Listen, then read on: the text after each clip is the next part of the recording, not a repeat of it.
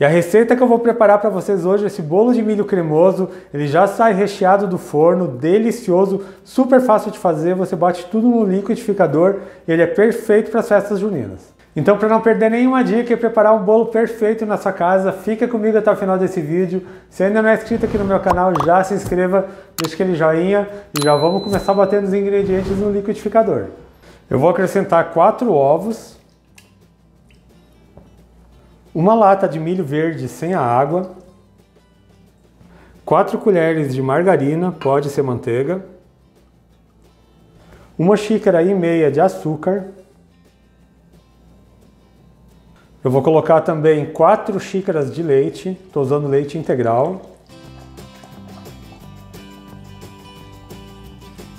uma xícara de fubá, é o fubá mimoso, e um quarto de xícara de farinha de trigo. Agora eu vou bater bem esses ingredientes para depois acrescentar o restante.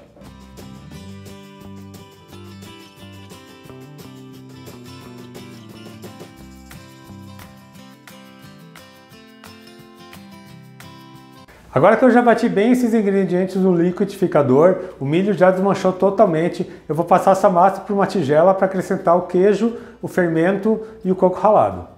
E olha só, a massa fica bem líquida, é bem assim mesmo que a gente faz esse bolo.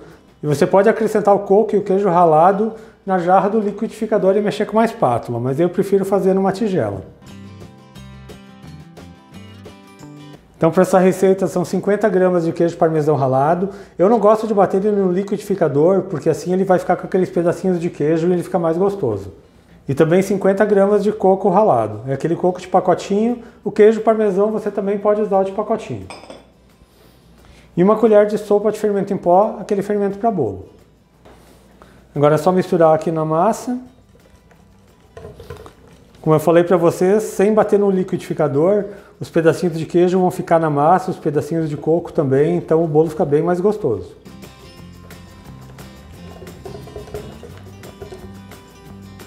Já misturou bem aqui os ingredientes, já vou passar ali para a forma. Para esse meu bolo de hoje eu estou usando uma forma de tabuleiro. Ela tem 28 centímetros por 18 centímetros, ela tem 5 centímetros de altura. Eu untei ela com margarina e polvilhei ela com fubá. Então é só transferir a massa para a forma, como eu falei para vocês, é uma massa bem líquida, mas não se preocupe que vai dar certo o bolo. E já vou levar para o forno. E esse bolo precisa assar em forno pré-aquecido a 180 graus e ele leva em torno de uma hora para assar. Ele tem que dourar na parte de cima, mas quando você pressionar a mão no centro do bolo, ele tem que parecer que ele ainda está mole. Assim ele vai formar aquela camada de recheio no centro. Mas depois quando eu tirar ele do forno, eu mostro para vocês o ponto correto dele. E eu acabei de tirar o bolo do forno, ele ficou aqui no meu forno por uma hora. Agora eu vou mostrar para vocês qual é a textura correta que ele tem que ficar. Como vocês podem ver, o bolo eu acabei de tirar ele do forno, ele já está mais dourado nas beiradas, mas ele parece mole ainda no centro. Agora você tem que esperar ele esfriar totalmente para daí você cortar. Assim ele vai se assentar e formar o recheio. Eu vou deixar esse bolo esfriar totalmente, daí eu volto aqui e corto ele para vocês. E eu já deixei o bolo esfriando por uma hora, a massa já estabilizou. Agora eu vou cortar e vou mostrar para vocês a textura dele. A massa já baixou um pouco, ele já ficou mais firme. Agora eu vou cortar um pedaço aqui para vocês.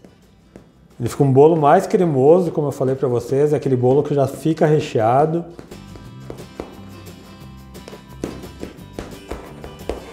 E agora eu vou pegar aqui com a espátula.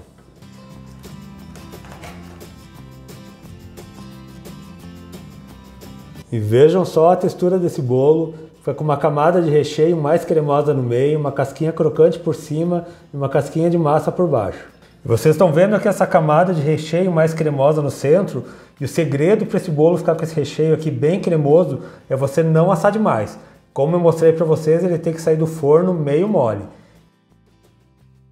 E olha só pessoal, esse bolo fica maravilhoso, essa camada de recheio bem cremosa no centro, o sabor dele é delicioso. Esse bolo é gostoso tanto em temperatura ambiente como gelado. E eu espero muito que tenham gostado da receita que eu preparei para vocês hoje, esse meu bolo de milho cremoso que já sai recheado do forno.